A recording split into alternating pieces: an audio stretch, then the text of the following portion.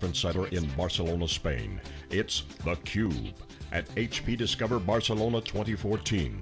Brought to you by headline sponsor HP.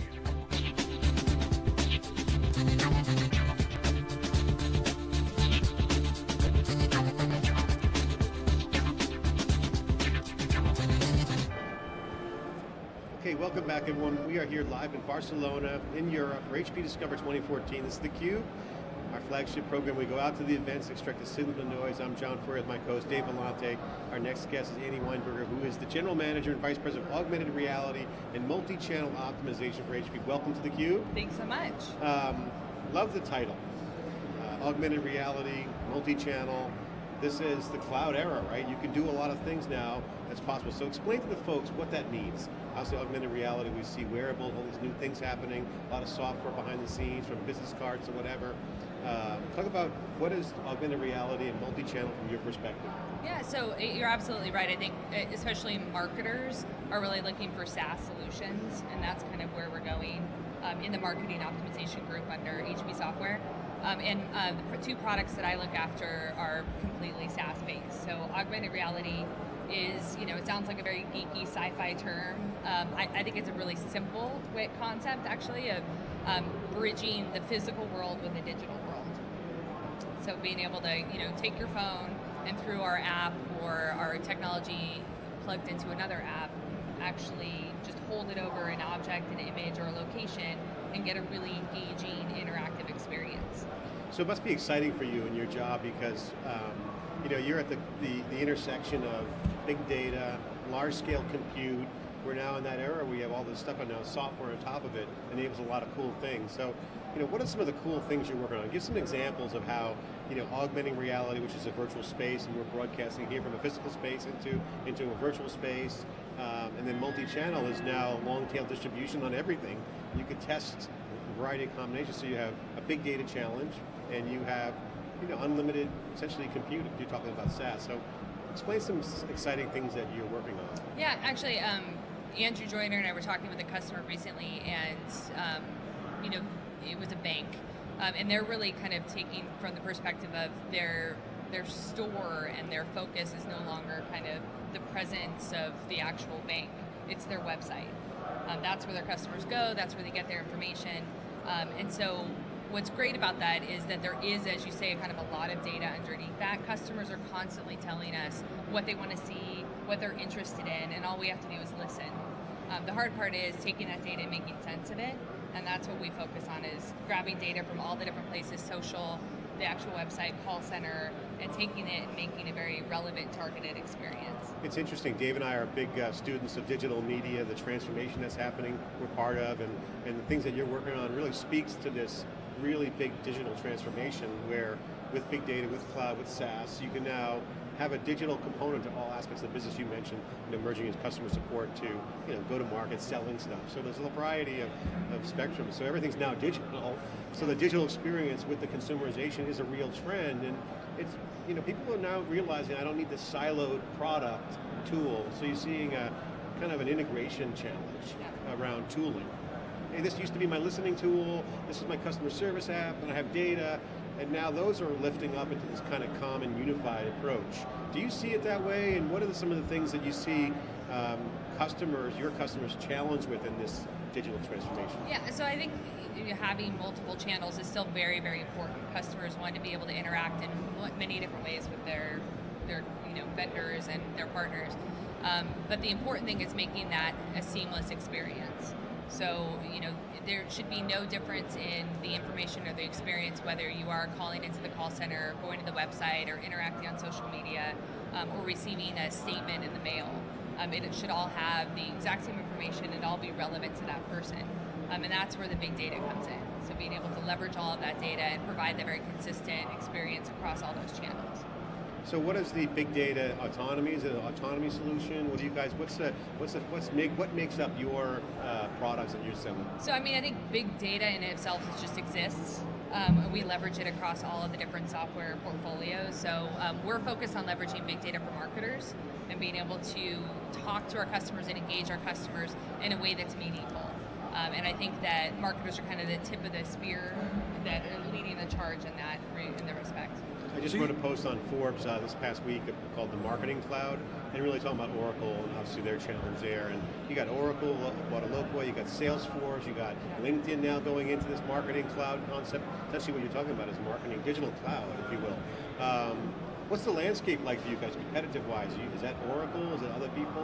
What are your key competitors? Yeah, I mean, I think every everyone's got to go to the cloud. A lot of people are talking now about moving to the cloud. The good news is we've been there for a while. Um, so I've always managed the SaaS solutions. They've been around for about 10 years. They've always been SaaS-based, cloud-based. Um, and so I think, you know, depending on what the, what the customer's looking for, it could be Oracle, it could be Salesforce, but um, I, I don't think it's like it's a cloud. That's just what everyone has to get to, and it's kind of who can get there first. It's kind of a no-brainer. So it's like you, some people just say they're trying to get sales solutions, kind of think Salesforce, okay, funneling names into a database, their Yeah. workflow, uh, to different digital solutions. You mentioned the multi-channel optimization, algorithmically having variations. Is, is there a lot of different separation points between uh, digital, some of the digital things that you're seeing out there? Is that how I should look at it? What should, how should people look at this? It's kind of confusing. Like, well, am I, is it for sales leads or is it for customer experience? You know what I'm saying? It's yeah, hard to figure yeah. out. I mean, I think you know, sales has always had you know, and I think Salesforce does a great job because it's a very defined way of tracking a lead. Um, I think that when you're looking at the, the broader life cycle of a customer, once they kind of become your customer, how do you interact with them? Um, and that's kind of where we focus. Uh, it obviously can be used for the acquisition phases as well, the communications that goes out to gather those customers, but um, really the whole life cycle. So I got to ask you the question about retar- um, retargeting, or um, I go to a web page, I go hit the Hilton site, look for a vacation, no rooms available. Then I go to Facebook, and all of a sudden I see Hilton ads Yeah. all over the place. I'm like, well, I really don't want to see that. So that, that's kind of a big data problem. Probably it works well in click-throughs, but actually I'm not interested in, in that product. So um, this whole retargeting thing has been kind of an interesting conversation. Um, is that good or bad, or is there any innovations to make that better? I mean, I think there's, you know, good or bad. It's all, you know, generational mainly that, you know, what people want to see or what they don't want to see. But I think that it, it comes down to kind of how it's treated and constantly learning. So you know that if you do retarget to somebody and, and they're not clicking on that, that they might not appreciate it and they might think it's a little big brothery. Yeah. Um, but, you know, some people really appreciate that because maybe they dropped the browser and they lost their place. So um, I think it's just about listening to customers, constantly learning and testing to make sure that you're doing the right thing. So, Annie, let's talk about your products because you you Okay. run two cool products, I do, Aurasma and yeah. Optimost. Yes. So let's start with Aurasma. Um, well, well, explain each of those, and then let's get into them. Okay, so Aurasma is um, HP's augmented reality platform.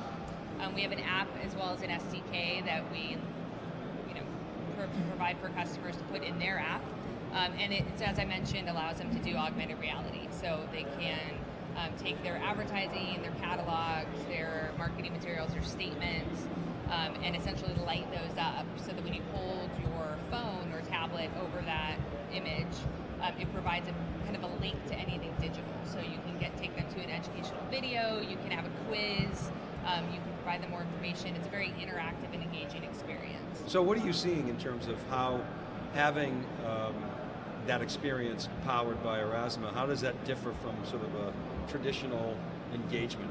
Can you share any metrics? I mean, are you seeing, I, I, presumably you're seeing higher rates of engagement. I mean, that's why you would do this, right? So, how high? What are you, what are you yeah, it- the it's, it's actually kind of unbelievable. I've been doing this a while and looking at conversion rates and other products. Uh-huh. Um, the conversion rates that our customers see using Aurasma is astronomical. We have, uh, for instance, Office Depot uses it um, in store and on their um, catalogs and in their advertisements, and um, they got about 150% increase in conversion by leveraging Aurasma.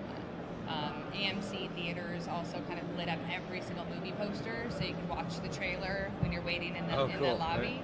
Um, and then if you wanted to, you know, either reserve tickets for that film or buy tickets right there, use the geolocation to find the nearest theater to you, and you could buy tickets. And they had a 75% click-through rate on that. So- 75% click through rate. Yes, yeah. On Wow. Purchasing those tickets. So, you know, it's you know a, such an engaging and tailored experience that it, it's getting these ama- amazing ROI numbers. Well, in that in that theater example, you're probably not even measuring. There wasn't even a click through rate before. It was just sort of okay. There's a poster advert, so you even know what the conversion was. So, I mean, that's they were a, kind of checking on their versus their website. So being able to just people Yeah, right. browsing through films and then do they buy or maybe not? you know, stumbling upon it. Okay, and then Optimost is all about multivariate testing, Yes. A/B testing. Yeah. Which, of course, A/B testing was all the rage. Test, fail, test again. But it's it's hard to sometimes set up a test and do different iterations, and then you get to kind of get exhausted and say, all right, just pick the best one of the n that we did. Yeah. So how does Optimost help that Yeah, I mean, we Optimost has been doing this for about 15 years, and I think what we provide, um, besides the kind of core technology and the algorithm that finds the best combination of, of images and, and creative, um, is we have a team of experts who've been doing this forever. So it's actually a full SaaS offering. We'll do all the tests for you. Um, we can just kind of take over your website with one line of code, run the test. We can target your website. We can test to segments, do adaptive targeting. Um, and it's it's all done with the idea that we've been doing this for so long. We know what the benchmarks are, and we can guide people in the right direction of where they might be able to kind of improve the lift. so that's interesting. So the business model is a, it's a service as a service. Exactly. Right. kind of managed service. So you bring yeah. in, okay, so how does that work? So I have my objectives, this is what I want to do, I want to optimize my website for X, and then you say, great, give us the assets, Yeah, absolutely. and then we'll play with Build it. Build a test and run it until we get the right results and. And I get that to look over your shoulder Can we and get a see all the results. Yeah, you Can can we get a you want demo account? we love this product. I know. it's- Exactly, yeah. So, okay, um, and it's, it's, it's, it's, you say it's always been a SaaS-based offering, is that Yes, right? Or- yeah.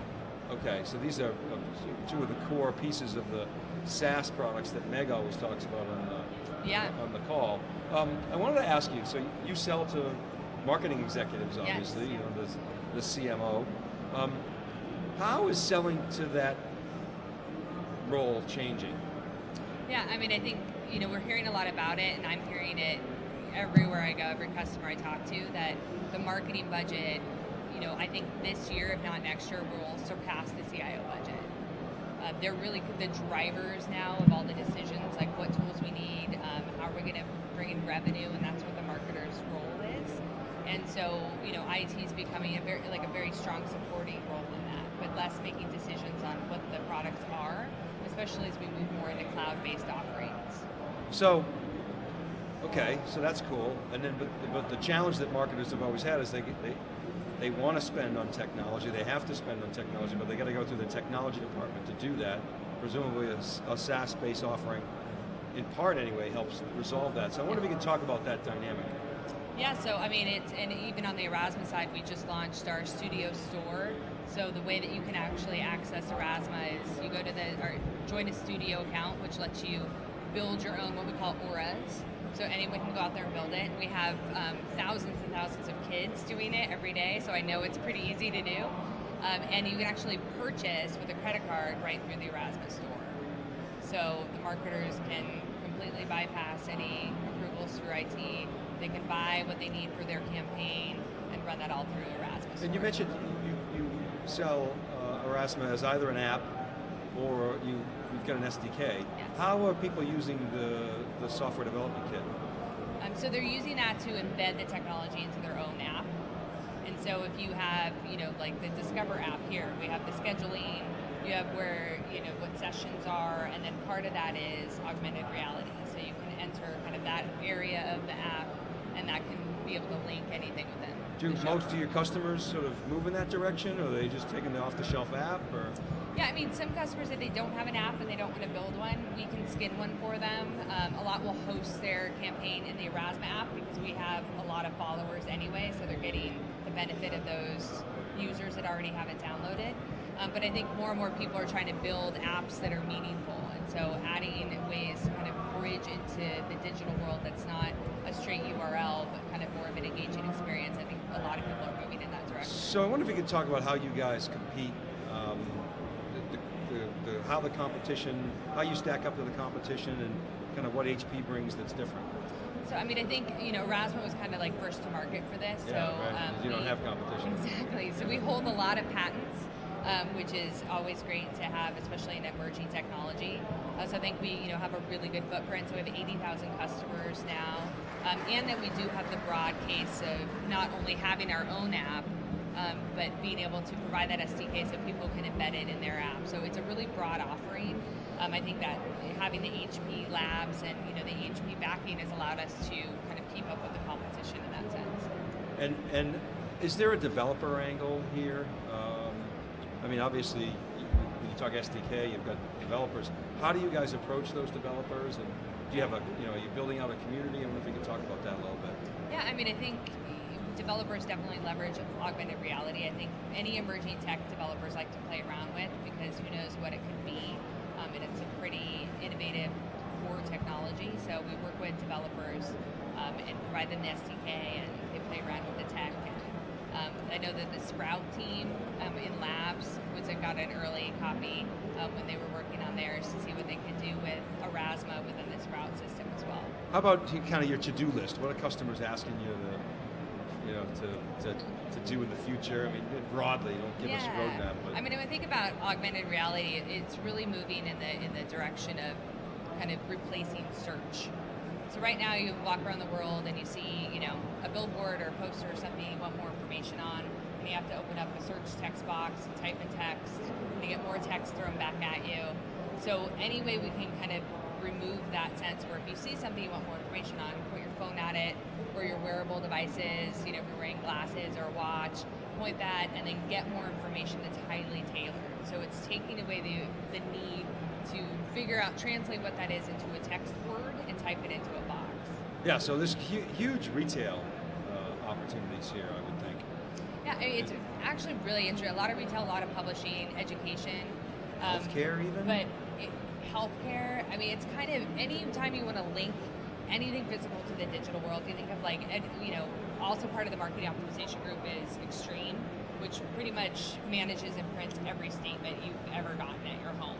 Um, and you know they always put a URL on that statement to forcing you kind of to go to the website and maybe check out a promotion or right. get some more information. Um, instead, now you can just point your phone at that statement and it gives you immediate link to everything that you need. So how's the adoption? How's the adoption going in terms of uh, market? Is it classic early adopter? Um, how many? You said eighty thousand customers you have. Eighty thousand. That's a huge number of customers. I mean, I mean, I think you know people have eleven thousand in SaaS. They go public.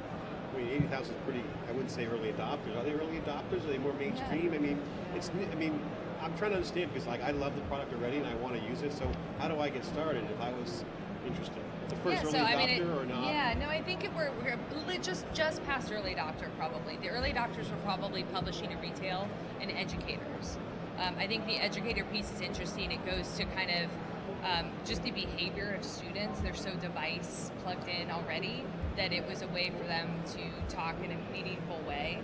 Um, but I think um, we're just past that now, and it is getting to you know healthcare, manufacturing, uh, CPG. Everyone's kind of looking at this rather than just the early adopters. So you guys are nailing what I call the preferred user experience in the future. Of this mobile-like environment, people want engaging experiences. Yes. And that's cool, right? So who doesn't like that, right? So so take us through where the sectors are. For instance, publishing. Let's just say we want to take the cube and have a, a web page that was more dynamic, more cooler, more augmented with yeah, a variety I mean, of elements. How would we? What would we do? It is super super easy. As I said, you know, if you just create a studio account, um, Aurasma.studio.com, and you can build an aura in less than 30 seconds by uploading what, what you want to trigger, the trigger image, putting an overlay on top of that, whether it's a video or, you know, some people do 3D objects, and if you, if you have that skill. Um, and Whatever then, clickbait you want. And then you kind of just hit submit, and it's automatically built and stored in our cloud, and then it works immediately. And mobile, it's all mobile aware, mobile first environment. Yeah. So it's independent of platform. Yeah, so Android and iOS. And not web. It works on the web too? Browsers? Um, yeah, you can work in a browser. Yeah, so that's standard. That's easy. That, that was Yeah, last, yeah, that was yeah. last decade. Um, but all so all pretty much mobile, An- Android and iOS. Android and iOS, yeah. Um, and publishers are adopting this. they were kind of the first adopters. Now it's pretty much any industry out there. What's the pricing look like? So how much much would it cost? So it's a subscription-based offering. It's based on the length of the campaign and the number of what we call auras, which is essentially cloud storage. So you can buy an annual subscription, monthly subscription, and then how many auras that you're going to build and how interactive they are. So it's Okay. on a scale. Are people typically running campaigns for, uh, what's the typical length? Is it I mean, evergreen or? Yeah, most people buy an annual subscription uh-huh. because the great news is because it's a web-based platform, you Yeah. can dynamically swap the content out in the back end. So they're just building the auras and they might change it over through their campaigns. And, and renewal rates, I mean, if I can. Yeah, pretty high. With that, pretty high? Yeah. With uh, the ROI that people are seeing, it's yeah. I mean, so, you know, different model, right? Traditional software world, you buy a perpetual license and you live off of maintenance. The SaaS world, Yeah. totally different. Good news is, you know, HP doesn't have a huge software business, so you don't have to worry about that transition like a lot of companies. But so there's two metrics, right? It's, I mean, I'm sure there's many, but it's the renewal rate and then sort of the, the ability to to increase the contract value, if you will, the, the subscription value. So you, are you able to cross-sell other products in there, and are you able to see annually average prices go Yeah, I up? mean, I think it, there's also adoption in there. I think there's a large Yeah, part sure. of the population that we can get. So, um, you know, but upselling current customers, we definitely, you know, it's doing more with the, the product. We also have a way to target um, certain auras, which I think is, you know, kind of further down the road, but it's still built in already. Yeah, We're already right. ahead of the game, but being able to, you know, you'll see something different if you target it on the East Coast versus myself on the West Coast. Um, so giving kind of those different attributes to it. so the market has got to be enormous these products. I mean, can you talk about the TAM at all, or how do you? Yeah, I mean, it's it, the report came out pretty recently um, that said that it's going to be a billion dollars by I think 2018. Um, and just to give some perspective on how fast that's growing, last year they said 108 million. So um, by a factor of 10, it's increased in just a year. Um, and, and I even think that's that's pretty low. But just considering what this technology is able to do, it's really only limited by the behavior. And I always go back to all of the students that are using it today. It's such a core part of their learning experience and their everyday experience that you know the next generation coming up is going to kind of demand um, augmented reality be part of how we're selling to them. Yeah, well, I mean, you know that, that stat. I think it's a Gartner figure that CIOs are going or CMOs are going to spend more than, than CIOs. Is that on marketing solutions or is that in I think it's on or- running the business. I also Yeah. think is getting a, a kind of more responsibility, I would say, within a company. Um, so before it was, you know, maybe PR and advertising, and now they're Yeah. considered the owner of the customer and the customer experience. So, so, so the, the number of a billion by 2018, that's what's going to be spent, but the, the potential is tens of and that's billions just or on AR. yeah. Right, Yeah. right. I mean, that's. But that's the, the digital spend is actually increasing as an overall number. Yeah, Yes, that's right. much bigger, So, I mean, it's the, the overall, it's you know. So let's talk about giant enga- let's talk about engagement. One of the things we're, we're always talking about in Cube is as we broadcast that we, we don't really lock the users into any sort of click. It's all free content, right? So, but engagement, something we see a lot of engagement. That's what everyone's talking about right now is engagement. Yep. Give me the engagement, and you build an engaging product. Yes. So you're in that business. So what's your take on engagement? Where are we in that business model? I mean, is it going to be new technologies coming out? This is one of them. What's the myths around engagement? It's like now becoming the holy grail. Yeah, I mean, I think before, you know, being a marketer or being in business, it was fairly easy to control engagement because they had to come into your shop um, or call you, and that's you could very much control that one-on-one engagement with a And customer measure and measure it and understand it. Um, and I think that you know it became really, really difficult for the last you know 10, 15 years with the web and social and. Um, now, you know, people want reviews from other people that aren't you. They want to talk to everyone else but you before they talk to you about your product. So they're coming in knowing a lot of things you might not know what they know, and everyone's starting from a different touch point. And there's so many different places to interact with a brand, and that the marketer can't really control it. So it all gets back to understanding what those interactions are, understanding what's being said, so that we can continue the engagement. that brings your whole multi-channel into a whole other dimension really if you think about it if the customers are talking about you before they talk to you Yeah. that creates multiple channels within that channel so you already have multi-channel marketing Yeah. things to work on now you have sub-channels if you will Yeah, and Um, every interaction becomes very important because if you, you know, have a bad review with someone, they can tell, you know, 20 million people like that. So you got to get out front on that, and and have the technology to do that. What, what's your advice to customers that when you know, I'm a CMO and now I'm being pulled into okay, the spend is now going to be increased for social and these new engagement platforms. So I don't know what to do. I'm getting pitched from all these different vendors. I got Oracle banging on my door. I got Salesforce. I got you know Mintigo. I got you guys. I got a lot of noise coming at me. So Yeah. what, how do you clarify that? How would you? I mean, I think you know it, it comes from not doing kind of inside out marketing, where you look at kind of where where are channels that we manage, or you know what's our message, um, but look at kind of how people are interacting with content and information, and try to catch them there. Um, I always kind of say I, I, I started off kind of in the web world when people were just building websites and I was selling software to do that. And, you know, it was trying to convince people to build a website. And at the time, we thought only the biggest, biggest companies are really going to have websites. Or that's And to- webs for kids. No one. yeah, it's not that's relevant. just that's just going to be your American Airlines or Bank of America. But it was, um, you know, now you know you have a, a wedding and you build a website for that one event. So it's become so common. So let's take that to social. So social media is the same. You know, this is our, our comments all the time on the Cube. The web was laughed at. Oh, there's no ROI on the web. All of a sudden, boom, digital's born.